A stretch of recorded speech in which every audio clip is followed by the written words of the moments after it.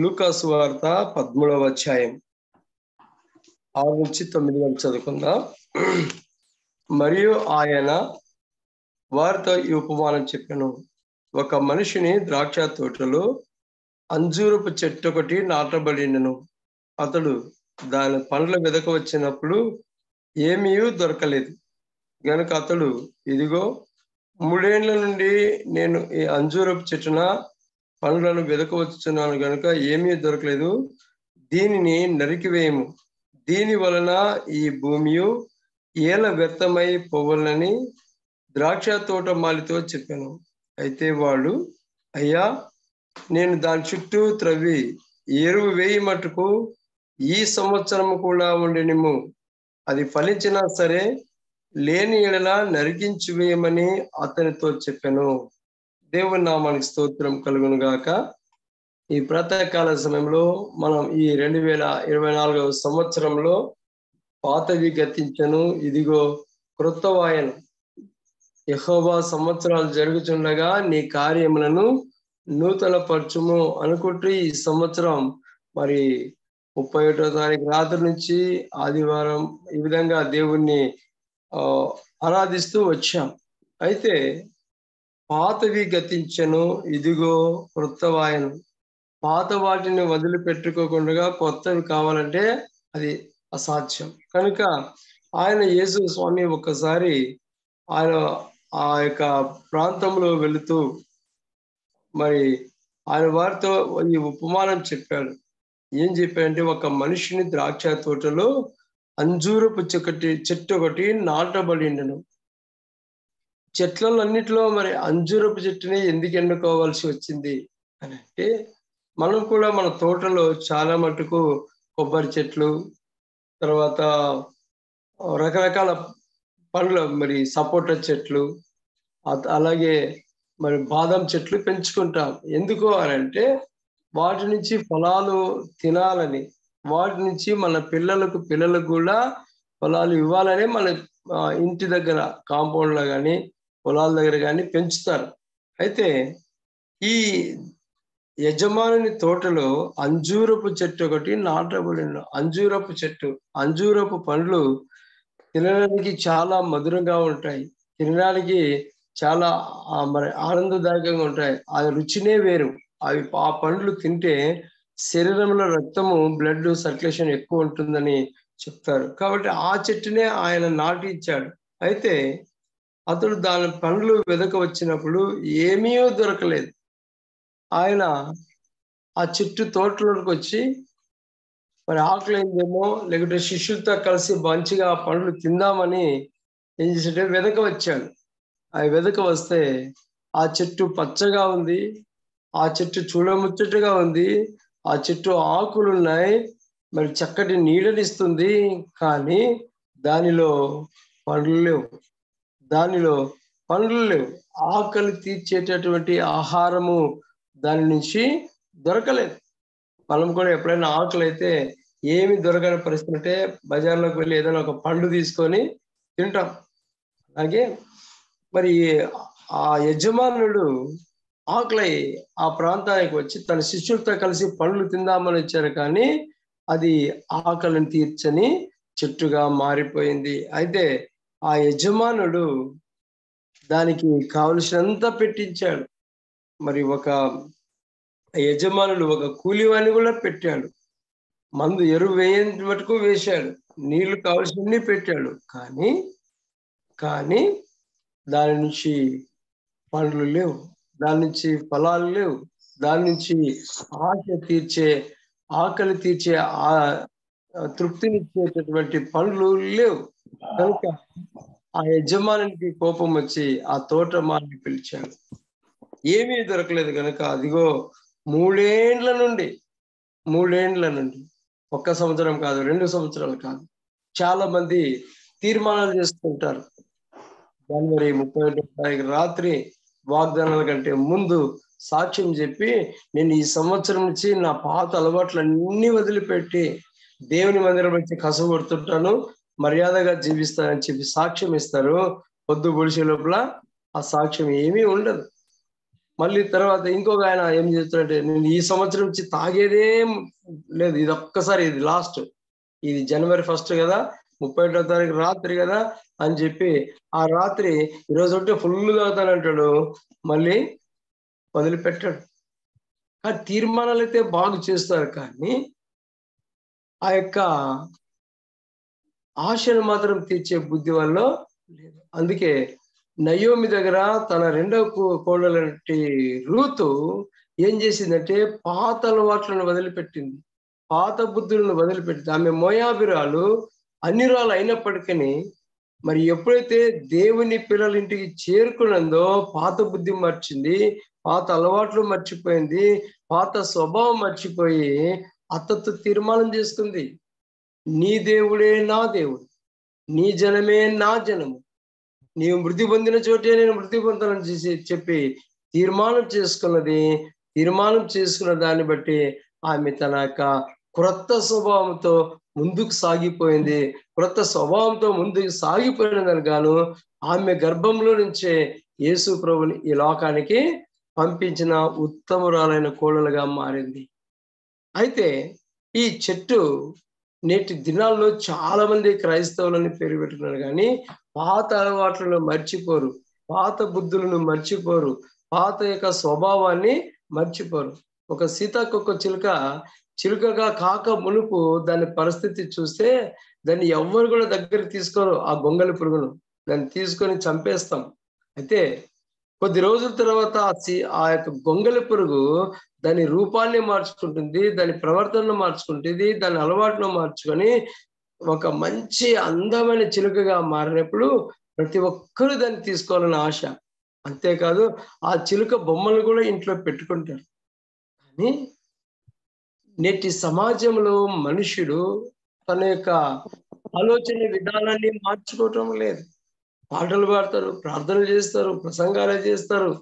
ఓ స్వస్థతలే చేస్తారు. కానీ అలవాట్లు మాత్రం మా కులమో మా కులము మా జాతో మా జాతి అని. వీళ్ళు క్రైస్తవులు వీళ్ళు హిందూ అని. ఈ విధంగా మరి అలవాట్లు మాత్రం మర్చిపోవటం లేదు. ఇక్కడ ఆదోని పక్కలో ఒక రామదుర్గం అనే ఒక ఊరుంది. ఆ ఊర్లో కమ్మలు చర్చి కట్టుకున్నారు. వేరే క్యాస్ట్ ఎవ్వని రాని లోపలికి. మరి పాటలు బ్రహ్మాండంగా పాడతారు. ప్రార్థనలే చేస్తారు. ఏంటంటే ప్రార్థనకి వెళ్తున్నామండి అంటున్నారు. కానీ బుద్ధి మాత్రము ఆ కమ్మ బుద్ధి పోనీయలేదు. ఆ కమ్మలు అలవాట్లు పోనీయలేదు. మన వాళ్ళైతే అందరినీ పిలుచుకుంటాం కానీ వాళ్ళు మాత్రము ఎవరిని రాలేరు ఇంకా ఒకటి మాట ఏం చెప్తున్నానంటే దీంట్లో ఉండేదంతా మన వాళ్ళే కాబట్టి మనం మనం అందరినీ పిలుచుకుంటాం మనల్ని దగ్గర రానిరు స్టేజ్ లెక్కిస్తాం మళ్ళీ మన సేవకుల్ని మన సేవకులు చూస్తే వాళ్ళు స్టేజ్లోనికి రానియరు అలాగే ఈ ప్రాతకాల సమయంలో వీళ్ళలో ఏం లేదంటే యేసు ప్రభు మూడేళ్ళ నుంచి ఎదుకు వస్తే వాళ్ళు ఏం లేదు? ఫలాలు లేవు. ఏం ఫలాలు లేవు? ఆత్మ ఫలాలు లేవు. గణితులకు రాసిన పత్రికలో ఐదవ అధ్యాయంలో చూస్తాం కదా మనం చెబుతున్నాం కానీ ఫలాలు మాత్రము మూడేళ్ళ నుంచి వెతుకుతూ వచ్చాడు ఫలాలు లేవు. అందుకే ఆయన అన్నాడు కోపం వచ్చి ఆకలిగొని అది ఆశ తీరలేదు కాబట్టి ఆ యొక్క చెట్టుని ఏం చేయాలంటే ఆ ఫలాలు ఇవ్వాలి. అతడు మూడేళ్ళ నుండి నేను ఈ అజ్జరపు చెట్టును వెతక వస్తున్నాను. దానికి కానీ ఏమీ దొరకలేదు. కనీసం తొమ్మిది ఫలాల్లో ఒక్క ఫలమన్నా ఉందా? పువ్వన్నా ఉందా? పిందన్నా ఉందంటే ఏమీ లేదు దాంట్లో. పచ్చగా ఉంది. ఎంత పచ్చగో! అయితే ప్రభు అంటున్నాడు దీనిని నరికివేయము నరికివేయము. పొలాలు లేకపోతే చెట్టుని ఏం చేస్తారు? నరికివేస్తారు. లేదంటే కొమ్మలు అడ్డంగా వస్తే కూడా నరికివేస్తారు.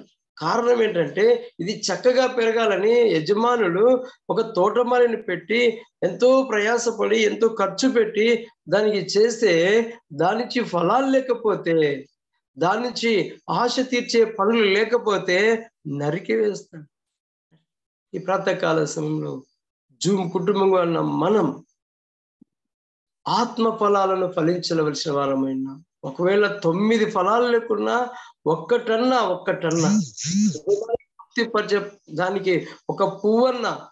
కనీసం విశ్వాసంలో నమ్మకంగా నైనా సాగిపోతుంటే దేవుడు అంటాడు బల బల మంచి దాసుడా నీవు నా తోటలో ఉన్నావు నేను ప్రయాస పడిన ఈ ప్రయాసకు రావలసిన ప్రతిఫలము వచ్చింది కనుక బల.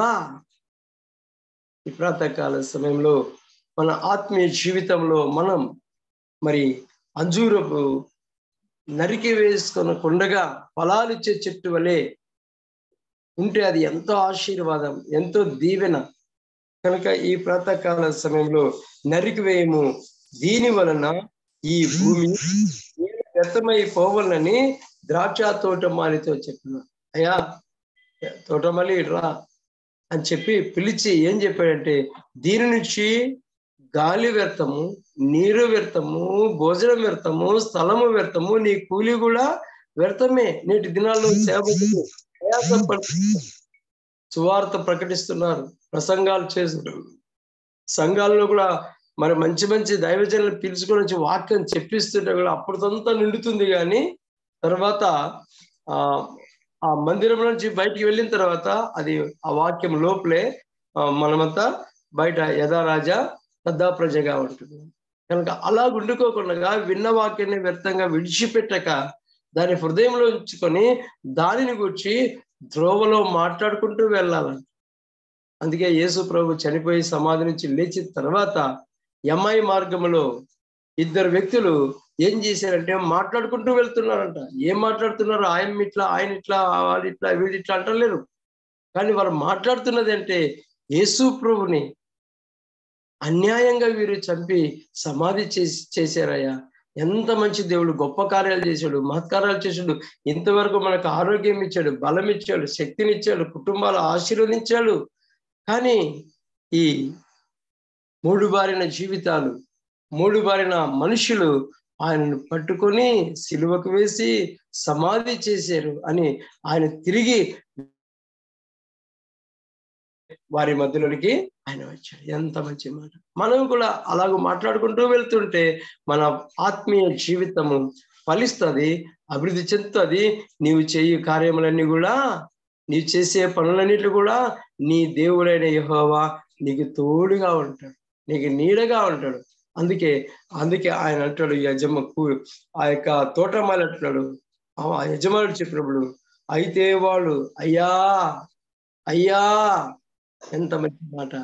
అయ్యా అనే మాట ఎవరు మాట్లాడతారు చాలా మందికి హోమ్టోళ్ళు వారిని అయ్యా అంటే ఎంత సంతోషం. లేకపోతే నాయనని ఇప్పుడు క్లాసికల్గా నాయన అంటారు. అప్పుడు పాతకాలంలో అయ్యా అనేవారు మరి ఎవరైనా కొత్త వ్యక్తి చెప్తే అయ్యా అంటారు సేవకులను కూడా అయ్యా అంటారు కానీ ఈ అయ్యా అనే మాట ఇక్కడే వచ్చింది. ఎక్కడి నుంచి? ఆ యజమాని ఉన్నట్టు అయ్యా అయ్యా అయ్యా నేను దాని చుట్టూ త్రవ్వి ఎరువు వేయి మట్టుకు ఈ సంవత్సరం కూడా ఉండనేమో ఈ సంవత్సరం కూడా ఉండనేమో ఎంత మంచి మాట. ఈ సంవత్సరం మనం సజీవ లెక్కలో ఉన్నామంటే ఈ సంవత్సరం దేవుని సన్నిధానంలో ఉన్నామంటే ఈ సంవత్సరం ఈ ప్రాతకాలం దేవుని ఆరాధిస్తున్నామంటే ఆ ఆ యొక్క తోటమాలి అయినటువంటి దైవ సేవకులు ఎంతో మంది లేకపోతే యేసు ప్రభులు వారు మన కొరకై తండ్రిని వేడుకున్నట్లు చూస్తుంటున్నాం అయ్యా ఈ సంవత్సరమైనా నా పిల్లలు మారుతారు. ఈ సంవత్సరమైనా వారి జీవితంలో మార్చివేస్తాం. ఈ సంవత్సరం కూడా ఎస్ ఈ సంవత్సరం కూడా ఉండనిము ఎంత మంచి మాట. మంచి మాట. దేవుడు అనేకమైన తెగులు నుంచి బాధల నుంచి సమస్యల నుంచి వేదనల నుంచి తప్పించి రక్షించి కాపాడి ఈ సంవత్సరం మనం ఈ ప్రాతకాలం దేవుని ఆరాధిస్తున్నామంటే దేవుని స్థుతిస్తున్నామంటే ఆ తోటమాలి అడుక్కున్నటువంటి తోటమాలి చేసిన విజ్ఞాపనకు మరి దేవుడు విని మనల్ని సజీవ లెక్కలో ఉంచాడు. ఎంత మంచి మాట. వాళ్ళు అయ్యా ఈ సంవత్సరం కూడా ఉండని ఈ సంవత్సరం నేను ప్రయాస పడతా ఎలాగైనా సరే ఎంత కుట్టినా ఎంత తిట్టినా ఎంత అవమానపరిచినా నేను ఏది ఏమైనా దానికి ఏం చేయాలో చేసి చివరికి నా ప్రాణమైనా పెడతానని చెప్పి ఆ తోటమాల అడుగుతున్నాను. ఎంత మంచి మాట. ఆ తోటమాలైన ఏసయ్య ఈ లోకానికి రెండు వేల ఇరవై నాలుగు సంవత్సరాల క్రితం ఈ భూమి మీదకి మరి శిశువుగా జన్మించి ముప్పై సంవత్సరాలు తల్లిదండ్రుల దగ్గర పెరిగి తన యొక్క కర్తవ్యాన్ని నెరవేర్చాడు అంతేకాదు మూడున్నర సంవత్సరాలు తను వచ్చిన పనిని అయ్యా అని అడుగుకున్న మాటకు ఆయన ఈ లోకానికి వచ్చి ఆశ్చర్య కార్యాలు అద్భుత కార్యాలు చేశాడు మహత్కార్యాలు చేశాడు. అయినా ఈ పాడు ప్రజలు ఈ పాడు జనాంగం ఏం చేశారంటే ఆయన మంచి పనులు చేసినందుకు గేలి చేశారు? అవమానపరిచారు హింసించారు. మరి ఆయన రకరకాలుగా తిట్టారు. ఒక పాపిని రక్షిస్తే తప్ప ఒక చనిపోయిన వారిని లేపితే తప్ప ఒక రోగగ్రస్తుని ముట్టి స్వస్థపరిస్తే తప్ప ఆకలి కొన్ని వారికి అన్నం పెడితే తప్ప ఈ విధంగా మంచి పనులు చేసడానికి వాళ్ళందరూ అనుకున్నారంటే అక్కడ ఉన్నటువంటి శాస్త్రులు పరిచయలు వీరందరూ కూడా ఆయన వెంటే వెళ్తారు. ఈయన మనం ఏం చేయాలని అనుకొని పట్టుకొని లేనిపోని నేరాలు మోపి తీర్పు వెంబడి తీర్పు చేశారు. చివరికి తీర్పులో కూడా ఆయన ఎక్కడ తప్పు దొరకలేదు కానీ వారి కేకలే. వారి కేకలే గెలిచాయి. బరబ్బాను విడిచారు యేసు ప్రభుని పట్టుకుని నేటి దినాల్లో చాలా మంది అవసరం లేదు కానీ బరబ్బాలే కావాల? బరబ్బా ఎవరు? బరబ్బా దొంగ. బరబ్బా గజ దొంగ. కానీ సమాజం ఎవరిని కోరుకుంటుంది నేటి దినాలంటే దొంగలనే కోరుకుంటున్నారు. ఒక సేవకుడు నాతో అంటాడు అడహా కమిటీ వారు ఏం చేస్తారయ్యా? ఏం చేస్తారో చూపిస్తాంలే అయ్యా అని చెప్పి. ఈ ప్రాతకాలం దేవుని సన్నిధానంలో ఉన్న మనం అయ్యా ఈ సంవత్సరం కూడా ఉండని ఆ సంవత్సరం ఉన్నందుకు. ఆ ఈ సంవత్సరం దేవుడు మనకి ఈవిగా ఇచ్చాడు. ఈ సంవత్సరం మనకు బహుమానంగా ఇచ్చాడు. ఈ సంవత్సరంలో మనం మన జీవితాలలో గొప్ప కార్యాలు చూడబోతున్నాం. అద్భుత కార్యాలు చూడబోతున్నాం. మన కుటుంబాల్లో కానీ మన సంఘాల్లో కానీ మన అలహ కమిటీ పెద్దలు చేస్తున్నటువంటి ఆ కార్యాలన్నింటిలో కూడా దేవుడు తోడుగా ఉన్నాడు. అందుకే అందుకే మూడున్న మూడు సంవత్సరాల నుంచి నిజంగా ఈ కమిటీ పెద్దలు కూడా మూడు సంవత్సరాల నుంచి ప్రయాస పెడుతూ ఉన్నారు. అయితే ఈ సంవత్సరం దేవుడు గొప్ప ఫలాలను చూడబోతుంది కనుక ఈ సంవత్సరం కూడా బిడ్డని అది ఫలించినా సరే అది ఫలించినా సరే లేని ఎడల దానిని నరికి వేయమని చెప్పాను.